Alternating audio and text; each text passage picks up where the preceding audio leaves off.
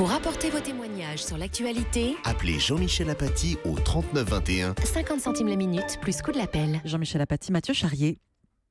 Oui, euh, ben, donc euh, je croyais Mathieu que, que vous alliez dire quelque chose, mais en fait vous ne dites rien, Je donc peux je... dire quelque chose si vous voulez. Non, Vous non, dialoguez avec nos auditeurs alors. Voilà, merci Mathieu, effectivement, c'est le but du jeu. Vous avez appelé le 39-21 et donc vous êtes sur l'antenne d'Europe 1. Nous allons parler de cette étude de 60 millions de, de consommateurs. Nous allons en parler euh, tout de suite, en- plus tard on parlera de l'absentéisme à l'hôpital, mais là on va commencer par l'étude de 60 millions de consommateurs qui nous dit que quand on achète du poison dans les, de- du poisson dans les supermarchés, c'est-à-dire du poisson qui a été travaillé par les industriels, etc., on retrouve dans ces préparations un peu, faut pas exagérer non plus, mais quand même, on ne devrait pas en trouver du tout un peu de mercure ou un peu d'arsenic. Donc euh, voilà, quand on achète du poisson, on l'achète quand même pas pour ça. Bonjour Jean-Michel, Bonjour Jean-Michel et bonjour Mathieu, Bonjour. vous êtes à Pressac, dans la Vienne. Oui. dans le département de la Vienne, oui. Voilà, vous êtes agriculteur, donc vous savez un peu ce que c'est la, la pollution des produits naturels, j'imagine. Je voudrais surtout que votre météorologiste retarde les nuages de, de 48 heures au moins pour qu'on ait le temps de travailler dans les champs. Valérie, ce je, lui- je demanderai.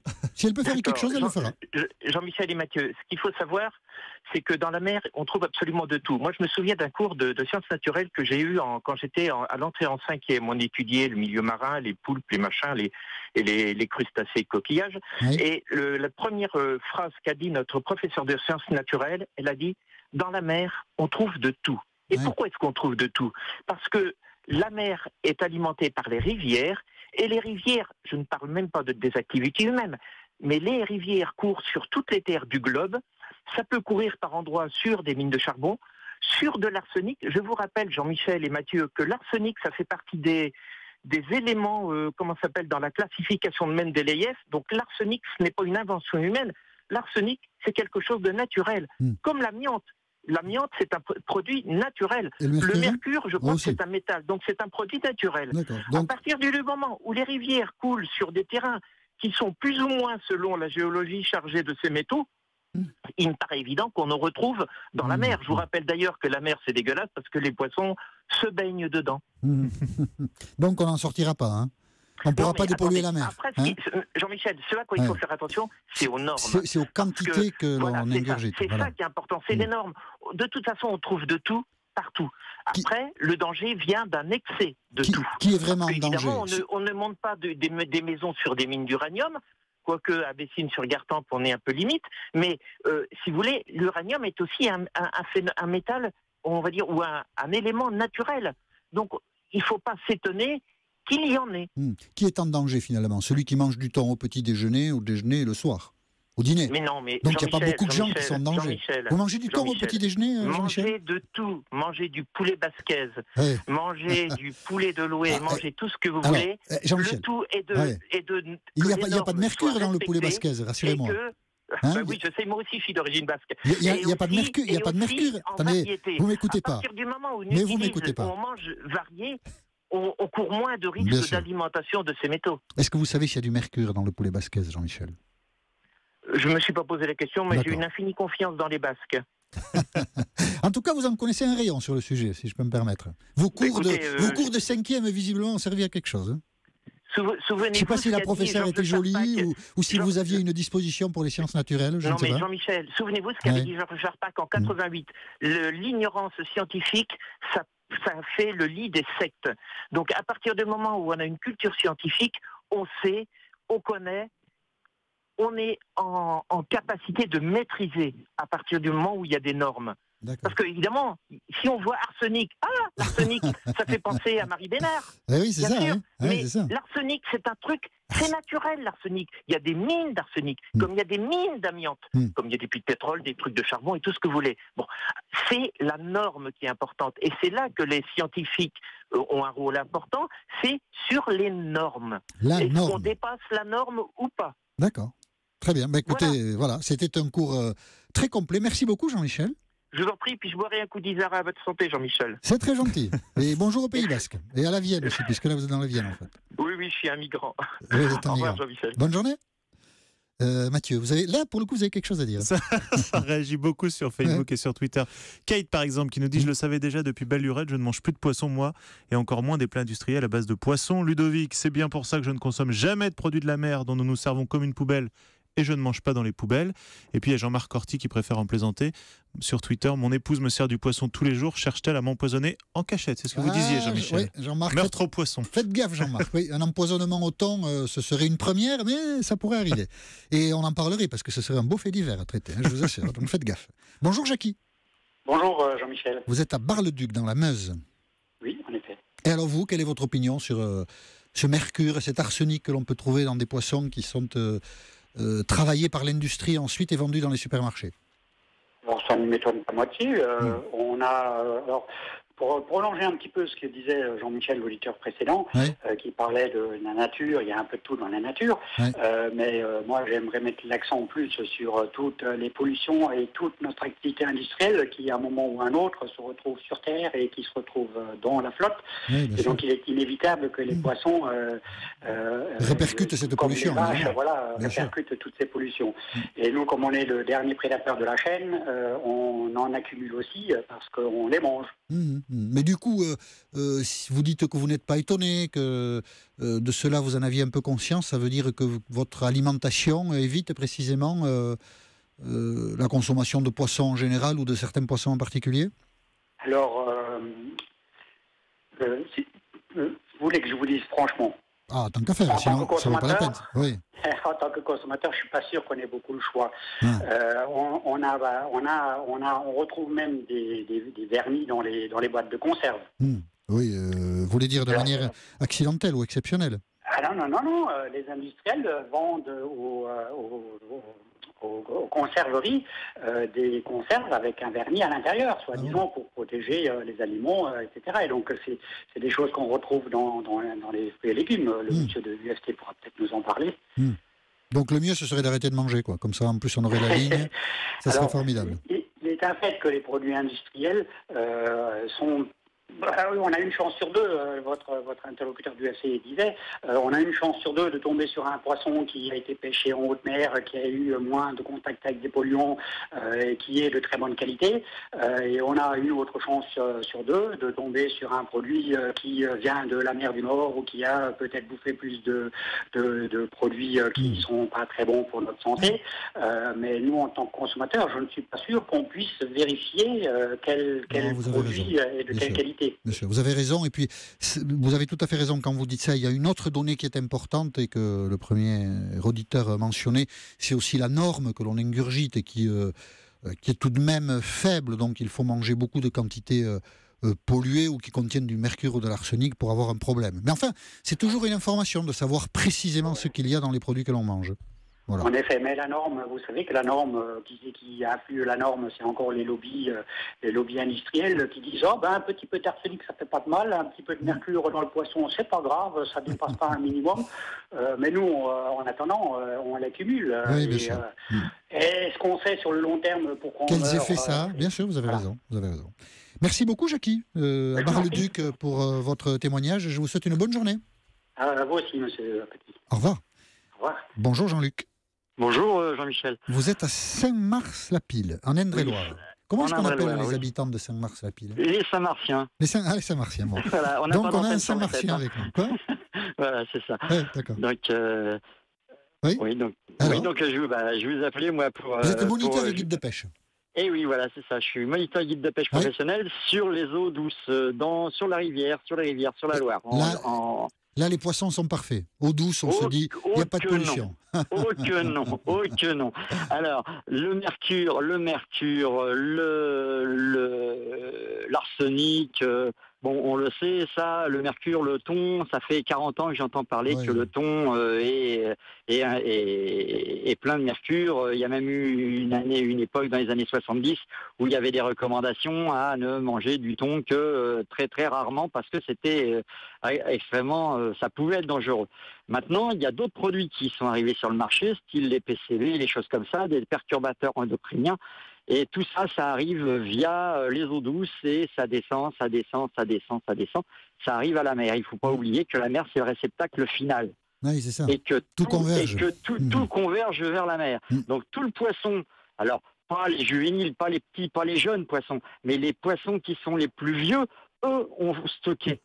Ce sont des bioaccumulateurs. Ah oui, si, vous Donc, tombez sur un, cela- si vous tombez sur un vieux brochet euh, Voilà, cuisiné par les industriels, alors là, vous avez la totale. voilà, une, hein. une vieille Mm. carpe ou quoi que Oh ce soit, et bien vous avez des perturbateurs endocriniens qui sont dedans. Voilà. Et il ne faut pas oublier que nous, en tant que consommateurs, on consomme pas mal de choses Ouais. euh, qui contiennent aussi des, des, des saloperies.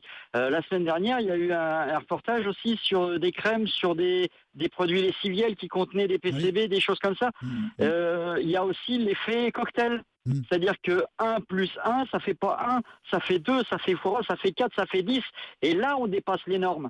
Ouais, c'est ça. Parce que, comme disait le, co- le- le consommateur, le- la, la personne précédente, euh, on est en bout de chaîne. C'est nous qui, qui stockons après. Et Et, donc- après, on s'étonne. Après, on s'étonne qu'il y a euh, bah, de l'Alzheimer qui se développe, euh, des Parkinson, euh, des, des, des, des choses de, de, de, euh, au Oui, niveau. ça, c'est un lien qui n'est pas établi, ça. Vous le faites, vous avez peut-être raison, hein, mais c'est Ah, pas mais, établi. euh, Ouais, c'est soupçonné. Hein. Ouais. Euh, quand Mm. on voit que l'An- l'ANSES, jusque l'année dernière, autorisait les femmes enceintes à manger du poisson au minimum une fois par mois, Mhm. hein, au maximum une fois par mois, et que cette année, maintenant, ils sont passés à une fois tous les deux mois. Mhm. Donc, euh, Donc, ils se sont rendus compte a- de quelque chose. et oui, mais Ouais. c'est comme toujours pareil, et la personne précédente le disait, euh, c'est des lobbies, on change les méthodes de calcul pour que euh, d'année en année, ou suivant euh, comment les lobbies travaillent euh, en amont, euh, bah, on puisse permettre euh, à ce que ces produits-là soient commercialisables. Mhm. Alors après, euh, il y a dans- sur l'étiquette, euh, on verra jamais euh, trace de mercure ou quoi Non, que ce non, soit. Bien sûr. Jamais ça, parce que sinon, les industriels ne vendent plus rien du tout. Oui, bien sûr. Et, et puis après, c'est masqué entre les additifs, les choses comme ça, qui sont déjà qui sont masqués par des noms, des noms tarabiscotés, qui Ouais. voilà, qui, Comme qui ça, on nous ne permettent rien. pas.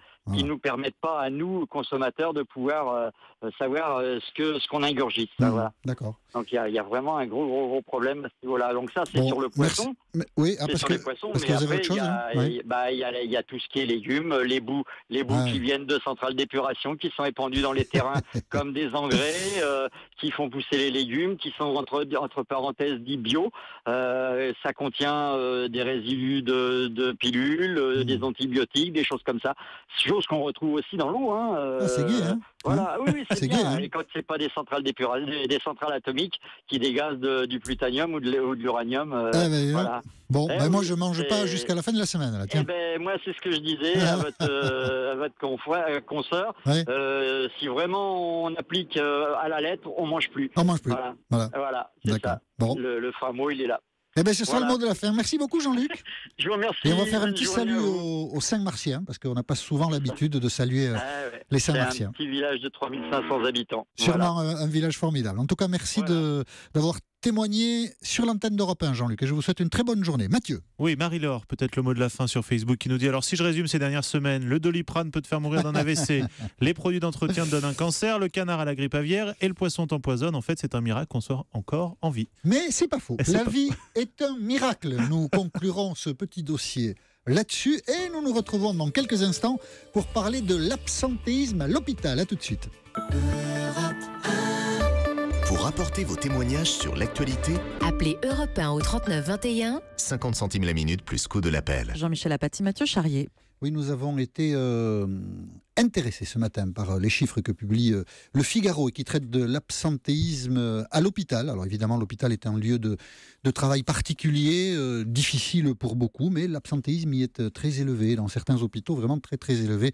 Marseille, Manosque, d'autres hôpitaux, vous trouverez une carte intéressante dans le Figaro. Et donc nous avons déc- décidé de, de vous accueillir pour en parler si vous travaillez à l'hôpital sur l'antenne d'Europe 1 en composant le 3921 et c'est ce qu'a fait Mélodie. Bonjour Mélodie.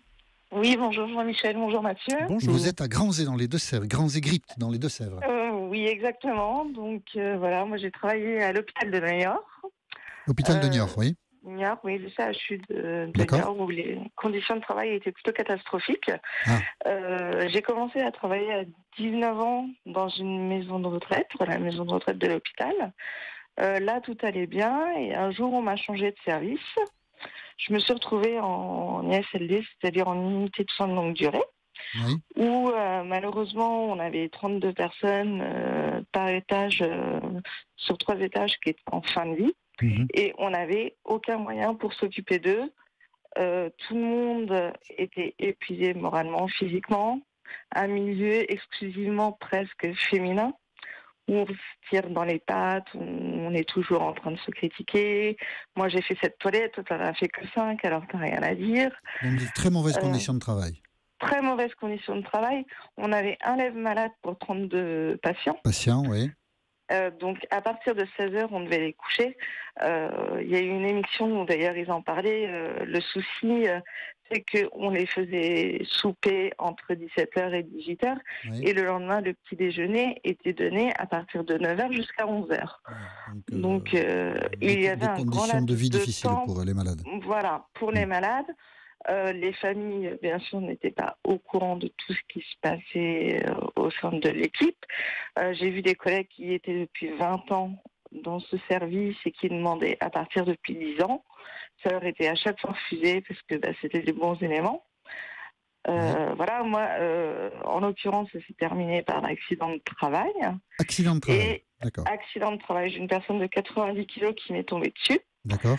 J'avais une collègue comme témoin qui n'a jamais voulu témoigner parce que quand euh, normalement on a un accident, on va remplir des papiers, machin et tout.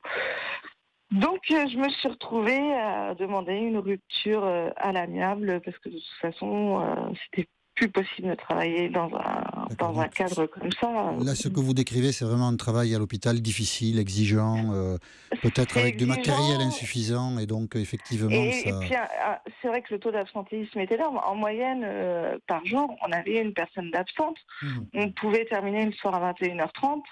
À 5h du matin, on avait un appel. On nous disait bah, écoute, euh, il y a un tel ou une telle euh, qui est absente, il faut que tu, tu la remplaces. Donc ça peut expliquer ces chiffres ensuite euh, qui paraissent importants et, et qui peuvent s'expliquer, en tout cas dans votre cas, qui s'expliquent par un travail très difficile. Bah, très difficile, très fatigant psychologiquement et Bien moralement, Mm. euh, parce que bah, on voit des personnes euh, décédées euh, très souvent, enfin dans les services où j'étais euh, notamment. Euh, mais c'est vraiment quelque chose où, où on n'a aucun soutien en fait. Mm. Moi, ce que je reprochais énormément, c'était que l'équipe mobile de soins palliatifs ne viennent pas nous voir, nous, les équipes, pour parler.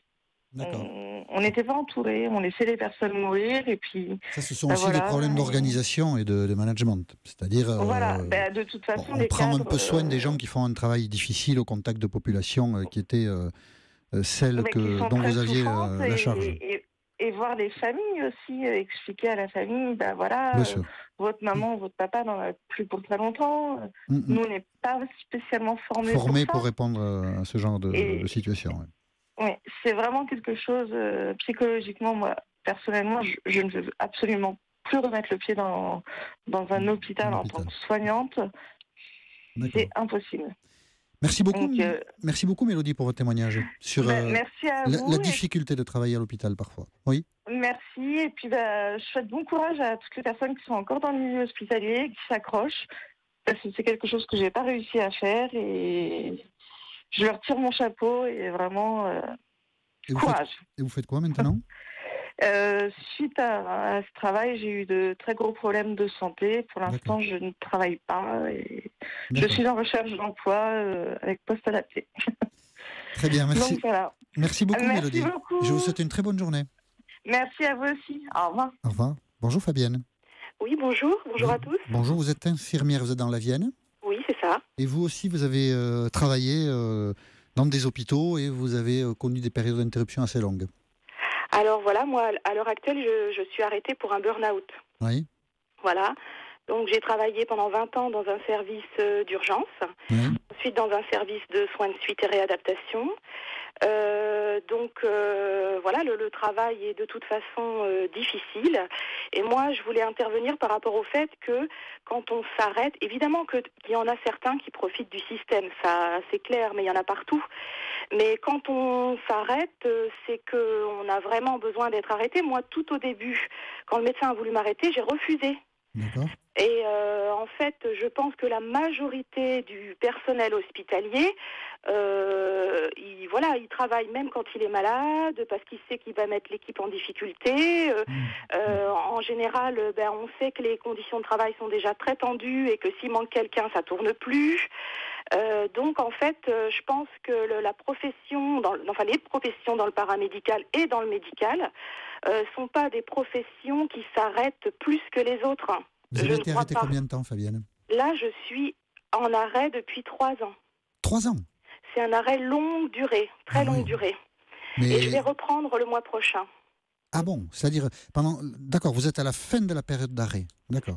D'une très longue période d'arrêt, mais vous allez reprendre euh, Alors, dans quelles conditions psychologiques, oui? Ah, mi-temps Ah, alors, thérapeutique. thérapeutique au départ. D'accord.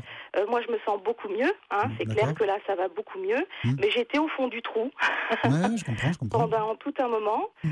Et euh, moi, ce que voilà, moi au départ, j'ai refusé l'arrêt, le premier. Euh, mon médecin, mon médecin n'est pas du genre à arrêter si c'est pas nécessaire. Donc, je voulais défendre aussi les médecins qui ont été un peu attaqués dans votre journal à midi, Mm. euh, parce que euh, sous-entendaient que bon, évidemment, peut-être qu'il y a des médecins qui font des arrêts, euh, mais c'est pas la majorité. Faut pas rêver. Mm. Et moi, quand il me l'a proposé la première fois, je ne voulais pas, parce que je disais, euh, ce week-end est un week-end difficile, on est déjà en sous-effectif. Si je m'arrête, ça va être catastrophique. Donc mon médecin savait que je n'allais pas bien, moi je le savais aussi, et je n'ai pas voulu m'arrêter. Et après, finalement, j'ai été obligée, parce que ça allait plus du tout. Et en fait, euh, je pense que les professions paramédicales et médicales, la majorité sont des gens qui cherchent pas à s'arrêter pour un rien. Enfin, je crois pas. Moi, je Oui, vois pas ça comme ça. Vous, vous diriez plutôt que ce sont les conditions de travail, l'environnement en général, qui fait qu'il Eh ben, est très difficile de travailler à l'hôpital. À l'heure actuelle, c'est tout est tout, tout va à l'économie, si vous voulez. Mm, mm. Donc on économise dans tous les domaines et notamment le personnel. Et moi, pour moi, si on veut faire des bons soins dignes de ce nom, il faut du personnel. Oui, C'est pas, c'est pas. Alors c'est pas forcément, je veux dire, au plan local que ça se passe. Il- faut des décisions euh, nationales. Si on veut maintenir un bon système de santé en France, ça ne peut se faire qu'avec du personnel. Je sais qu'il coûte cher, Oui, c'est ça. ça ne peut se euh, faire, se faire qu'avec le personnel. si on veut Voilà. préserver la sécurité sociale qui aide aussi euh, chacun à se soigner, euh, il faut euh, Il faut- veiller à faire des économies. Alors là, on est dans des, contradictions dont il n'est pas facile de sortir, mais enfin, ça n'était pas tout à fait l'objet du dialogue. Je, retiens, Fabienne, comme d'ailleurs euh, avant vous, Mélodie, que le, le travail à l'hôpital est difficile. D'ailleurs, pour être très honnête, les chiffres qui sont donnés ce matin ne nous permettent pas de savoir si c'est euh, vraiment euh, l'importance de l'absentéisme porte sur le personnel soignant ou pas, ou s'il y a aussi le personnel administratif qui conduit à, à gonfler les chiffres, auquel cas peut-être les arrêts seraient moins légitimes. Donc euh, Je suis pas sûre. ça reste savez- assez compliqué à expliquer, ce Ouais. surabsentéisme à l'hôpital. Vous Mais- savez, euh, dans l'hôpital, euh, les médecins, certains sont complètement HS. Moi, j'ai vu, il y a, enfin moi, dans mon hôpital, euh, on a eu euh, des, des gens qui allaient pas bien, médecins, euh, pharmaciens, anesthésistes. Enfin, il y a- enfin, je veux dire, voilà, c'est- des professions où on se donne, si vous voulez. Et, et ben voilà. il faut reconnaître que quand on économise sur le personnel, c'est c'est- qui se mord la queue de toute bien façon. sûr, ça a des Hein. conséquences, bien sûr. Oui, Merci voilà. beaucoup Fabienne pour votre Mais je vous témoignage. en prie. Et je vous souhaite une très bonne journée. Au revoir, revoir. Fabienne. Bonjour Jessica. Bonjour, Vous êtes à Villeneuve d'Ascq, dans le Nord, vous êtes euh, aide-soignante. tout à fait. Quelle est votre expérience à vous de travail à l'hôpital? Eh ben, en fait, un peu l'inverse de tout ce qui vient d'être dit. Alors, j'ai l'impression d'être une extraterrestre. Non, non, Mais mais bon. c'est un témoignage intéressant. euh, je- Euh, voilà. Ben, moi, je travaille au CHR de Lille. Oui. Et euh, comme je disais à vos collègues, j'ai l'impression que hum, tout est fonction du cadre qui nous gère. Oui, c'est possible. que l'encadrement, l'environnement, effectivement, rendent le travail euh, moins difficile, parce que le travail à l'hôpital est difficile. Tout à fait. En fait, moi, je travaille de nuit et Oui. on a une cadre qui gère les horaires d'une façon super. Elle gère- en fait, elle gère tout bien, mais tout du début à la fin. Résultat, on n'a aucune heure sup à rattraper. On a tous nos jours euh, ce qu'on demande et ce qu'on ne demande même pas parce qu'elle nous le propose. Elle se permet jamais de changer nos horaires comme dans beaucoup de services sans nous prévenir. Elle nous appelle en demandant s'il serait possible d'eux, vous voyez. Oui, d'accord. Donc, euh, et au final, en fait, quand on est en arrêt, parce qu'on n'est pas souvent en arrêt, mais après il y a des moments où on ne peut pas faire autrement, on essaye de s'arranger entre collègues pour lui éviter euh, de devoir chercher une autre personne, vous voyez. Hmm. Donc, euh, Donc, ce que vous suggérez, Jessica, c'est que quand un service est bien organisé et respectueux des gens qui y travaillent, peut-être que la charge de travail est plus facile à supporter. Ben, en fait, si les cadres sont sympas avec nous, on a envie de leur rendre service. Et du Mm. coup, on s'arrange pour euh, ben, essayer de leur euh, simplifier la vie. Et du coup, vous diriez, vous, Jessica, qu'il y a peu d'abstention, ou en tout cas, Non, pas, plus que ce que l'on constate ailleurs dans votre service? Si, Dans mon service, en fait, on- franchement, il y a très peu d'absentéisme parce que justement, ben, par rapport à ce que je vous ai dit, on essaie de faire en sorte de, mais dans la plupart des services, c'est vrai, c'est difficile. Mais notre cadre, j'ai l'impression qu'elle est pas seule au monde, Gar-. Gardez-la. Hein Voilà, c'est parce que je peux pas prononcer son nom à l'antenne, mais franchement, de, on- je lui rends hommage. bon, très bien. Eh ben, c'est fait. Voilà, c'est un hommage Donc, anonyme, voilà. mais elle se reconnaîtra sans doute. Une note positive. Voilà, très bien. Ça, ça fait du bien. Ça fait du bien. Vous avez Donc, raison. voilà. Merci Donc, beaucoup, voilà. Jessica. De rien. Bon je- après-midi à vous. Bon après-midi, je vous souhaite une bonne journée à Villeneuve-d'Ascq et je vous remercie d'avoir appelé le 3921. Nous reprenons ce dialogue demain, 3921 à partir de 13h10 sur l'antenne d'Europe 1.